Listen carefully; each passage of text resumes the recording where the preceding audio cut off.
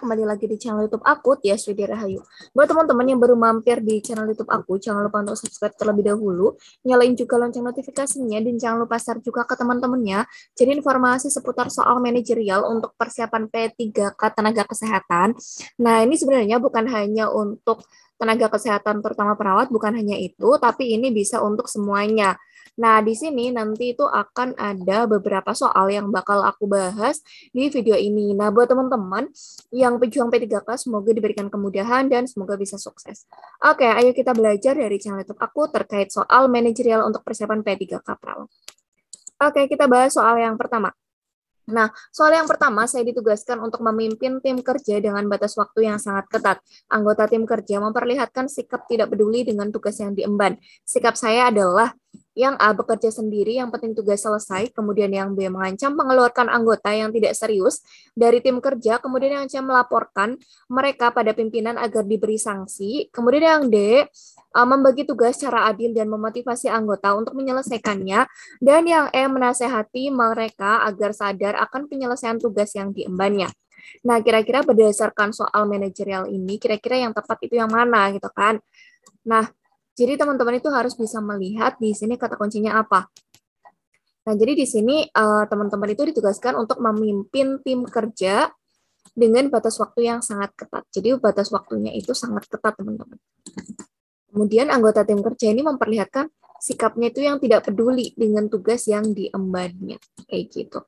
Kira-kira uh, sikap teman-teman itu gimana? Apakah bekerja sendiri yang penting tugas selesai? Kalau yang ini tuh kurang tepat ya, teman-teman kemudian mengancam mengeluarkan. Kalau ini dengan kekerasan itu juga kurang tepat ya, teman-teman. Kemudian yang C, melaporkan mereka uh, pada pimpinan agar diberi sanksi itu juga kurang tepat ya, teman-teman. Kemudian membagi tugas secara adil dan memotivasi anggota untuk menyelesaikannya. Membagi tugas secara adil dan memotivasi mereka untuk menyelesaikannya. Ini paling positif di antara yang positif. Jadi yang lain itu uh, kurang tepat dan yang paling itu yang paling tepat. Kemudian menasehati mereka agar sadar akan penyelesaian tugas yang diembannya. Nah, di sini yang paling positif adalah membagi tugas secara adil. Dan pemotivasi ini merupakan skor yang tertinggi, skornya 5. Kemudian menasehati mereka agar sadar akan penyelesaian tugas yang diemban, ini skornya 4. Kemudian melaporkan mereka pada pimpinan agar diberi sanksi, uh, ini skornya nanti gitu kan. Skornya tiga gitu. Kemudian mengancam mengeluarkan ini skornya dua. Dan bekerja sendiri adalah skornya satu. Karena di sini uh, bekerja dengan tim gitu kan. Usahakan ya dengan tim gitu. Tim terlebih dahulu baru secara individu. Nah di sini jawaban yang paling tepat untuk mendapatkan skor 5 adalah yang D ya teman-teman. Jadi di skor manajerial itu nanti tuh ada 5 skor. Skor yang tertinggi itu 5 skor terendah itu satu. Nah, jadi nanti teman-teman di manajerial itu pilih jawaban yang paling bag, uh, yang paling positif di antara yang positif. Kayak gitu. Oke, kita lanjut soal berikutnya. Nah, di sini soal berikutnya jika saya sedang bertugas penting ke suatu tempat dengan mobil dinas, kemudian mobil dinasnya itu mogok di jalan. Nah, kira-kira apa yang harus kalian lakukan? Jadi uh, dengan mobil dinas itu mogok, padahal kalian sedang tugas dinas, kira-kira uh, kalian itu harus seperti apa gitu kan? Yang A balik ke kantor, ambil mobil kemudian berangkat lagi, kemudian yang B cek kemudian panggil bengkel, yang C tinggalin mobil, kemudian pesan angkutan lain untuk menuju tempat dinas, kemudian yang D coba diberi uh, coba benerin mobil sendiri, kalau enggak uh, kalau nggak bisa baru panggil bengkel. Kemudian yang E tinggalin mobil dan balik ke kantor minta instruksi atasan. Kira-kira itu yang mana? Nah, jadi di sini eh, teman-teman uh, itu ketika mobil dinasnya mogok, kemudian teman-teman itu pada lagi perjalanan dinas, kira-kira apa? Itu kan. Balik ke kantor, ambil mobil, kemudian berangkat lagi. Kemudian cek, kemudian uh, panggil bengkel. Tinggalin mobil, kemudian pesan angkutan lain untuk menuju tempat dinas. Nah, ini paling cepat ya ibaratnya mobilnya yaudah tinggalin dulu aja kita yang penting menuju tempat dinas dulu kemudian coba benerin mobil ini agak kelamaan ya padahal kita kan eh, buru-buru uh, ke tempat dinas kemudian tinggalin mobil dan uh, balik ke kantor minta instruksi atasan ini juga kurang efektif gitu kan Nah, cek kemudian uh, panggil bengkel juga kurang efektif gitu kan. Kemudian balik ke kantor ambil mobil, kemudian berangkat lagi juga kurang efektif. Jadi di sini skor paling tinggi adalah yang C, skornya 5. Kemudian balik ke kantor ambil mobil, kemudian berangkat lagi juga kurang tepat. Cek kemudian panggil bengkel, ini skornya 4. Kemudian coba benerin mobil sendiri, kalau nggak bisa baru panggil bengkel, ini skornya 3 kemudian uh, balik ke kantor ambil mobil kemudian berangkat lagi skornya dua. Dan ninggalin mobil uh, dan balik ke kantor minta instruksi atasan skornya satu. Nah ini skor paling lima uh, skor lima adalah yang C di mana ini pilihan yang paling efektif kayak gitu. Akan dilanjut soal berikutnya. Nah, di sini soal berikutnya, perusahaan tempat Anda bekerja saat ini tuh mengalami penurunan yang disebabkan atasan yang baru uh, sangat kaku dan tidak terlalu paham mengenai kondisi pasar. Sementara itu kamu sangat memahami kondisi pasar dan mengerti strategi peningkatan target. Apa tindakan yang Anda pikirkan di mana macam status Facebook gitu ya? Tindakan uh, apa yang harus kalian pikirkan gitu kan?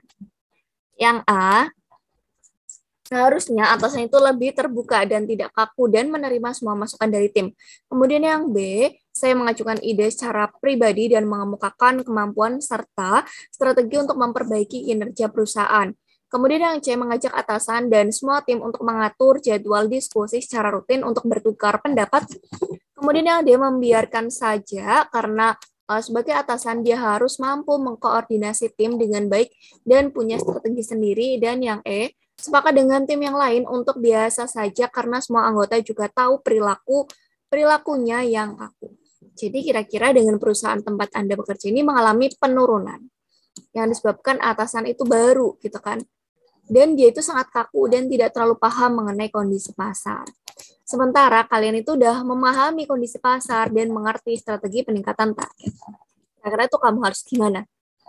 Gitu kan?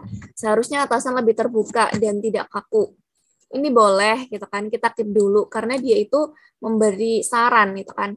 Kemudian yang B, saya mengajukan ide secara pribadi dan mengemukakan kemampuan serta strategi untuk memperbaiki kinerja perusahaan. Ini juga menurut aku yang paling positif ya, uh, mengajukan ide secara pribadi dan mengemukakan kemampuan serta strategi untuk memperbaiki kinerja perusahaan. Itu skornya 5. Kemudian mengajak atasan dan semua tim untuk mengatur jadwal diskusi secara rutin untuk bertukar pendapat gitu kan. Uh, kalau yang ini mengajak ini juga boleh kita keep dulu. Kemudian membiarkan saja karena sebagai atasan dia harus mampu mengkoordinasi tim dengan baik dan punya strategi uh, sendiri. Ini juga kurang efektif ya, di mana kalau misalnya ada masalah gitu ya kalian harus diskusi. Ini skornya satu. Kemudian sepakat dengan tim yang lain untuk biasa saja karena semua anggota juga tahu perilakunya yang kaku. Ini skornya dua. Mengajak atasan dan semua tim untuk mengatur jadwal diskusi. Ini skornya empat. Kemudian seharusnya atasan ini skornya tiga. Jadi pilih yang skornya lima di mana skor lima ada di nomor poin yang B. Oke, kita lanjut soal berikutnya. Nah, soal berikutnya saya baru saja dimutasikan ke unit yang lain yang sama sekali baru saya bagi. Baru bagi saya. Jadi sikap saya adalah yang A berusaha mempelajari dan memahami mekanisme kerja unit melalui rekan sejawat. Yang B berusaha memahami mekanisme kerja unit melalui arsip dan aturan kebijakan. Yang C duduk-duduk saja sambil menunggu perintah atasan. Yang D mengamati proses pekerjaan yang dilakukan oleh rekan sejawat. Dan yang E mengamati proses pekerjaan yang dilakukan oleh rekan satu tim kira-kira dengan saya itu baru saja dimutasi ke unit lain yang sama sekali itu baru. Jadi menurut dia uh, tempatnya itu baru gitu kan. Kira-kira dia harus gimana? Apakah berusaha mempelajari dan uh, memahami mekanisme kerja unit melalui rekan sejawat. Jadi ini belajarnya itu melalui rekan sejawat. Kemudian yang B berusaha memahami mekanisme kerja melalui arsip dan aturan kebijakan. Ini boleh juga duduk-duduk saja itu kurang efektif ya. Kemudian mengamati proses pekerjaan dilakukan oleh rekan sejawat itu boleh. Kemudian mengamati proses pekerjaan dilakukan oleh rekan satu tim juga boleh. Tapi di sini adalah uh, ketika kalian baru dimutasi, yang harus kalian lakukan adalah uh, belajar gitu dan memahami melalui arsip dan aturan kebijakan. Kayak gitu. Ini poin 5. Di jawaban yang B, itu poinnya 5. Kemudian berusaha mempelajari dan memahami mekanisme kerja unit melalui rekan sejawat, itu skornya 4. Kemudian mengamati proses pekerjaan rekan sejawat, skornya 3. Eh, dengan satu tim skornya 2, dan duduk-duduk itu skornya 1. Kayak gitu. Oke, kita lanjut soal berikutnya. Nah, soal berikutnya dalam menyelesaikan tugas yang diberikan kepada saya, saya itu kira-kira gimana gitu kan. Yang A selalu mencari alternatif lain agar tidak mengambil keputusan sendiri, yang B tidak berani mengambil keputusan sendiri, yang C berani mengambil keputusan karena tugas tersebut telah diberikan kepada saya, yang D uh, menyadari bahwa keputusan pimpinan diperlukan jika keputusan tersebut di luar wewenang saya dan yang E tidak berani mengambil keputusan sendiri meskipun tugas tersebut tanggung jawab saya. Kira-kira itu yang mana? Dalam menyelesaikan tugas yang diberikan kepada saya, saya itu harus gimana gitu teman-teman? Apakah yang selalu mencari alternatif lain agar dapat agar tidak mengambil keputusan sendiri, kemudian tidak berani mengambil keputusan sendiri, berani mengambil keputusan sendiri karena tugas tersebut telah diberikan kepada saya. Jadi dia itu berani mengambil resiko gitu karena telah diberikan tugas. Kemudian menyadari bahwa keputusan pimpinan diperlukan. Ya sebenarnya boleh gitu kan.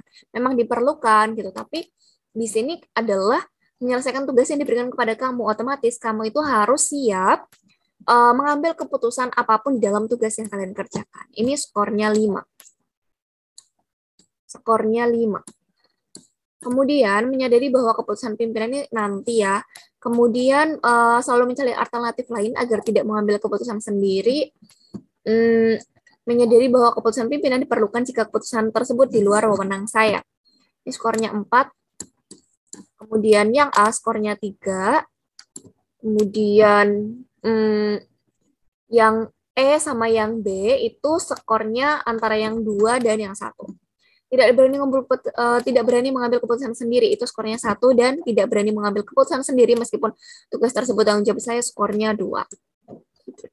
Jadi teman-teman nanti ketika menghadapi soal manajerial pilih jawaban yang paling positif di antara yang positif. Oke, kita lanjut soal berikutnya. Oke, nah jadi itu tadi lima soal untuk latihan soal kemampuan manajerial. Semoga nanti teman-teman diberikan kemudahan, diberikan kelancaran, dan sukses dalam mengerjakan soal P3K tahun 2022. Semoga diberikan kemudahan dan semoga lolos menjadi ASN tahun 2022. Semangat ya! Oh ya, buat teman-teman yang mau bimbel, boleh langsung hubungi aku di uh, nomor WhatsApp aku di video-video sebelumnya itu udah aku jelasin gimana sih cara untuk mengikuti bimbel. Oke, ditonton videonya di channel YouTube aku dan soal-soal sebelumnya.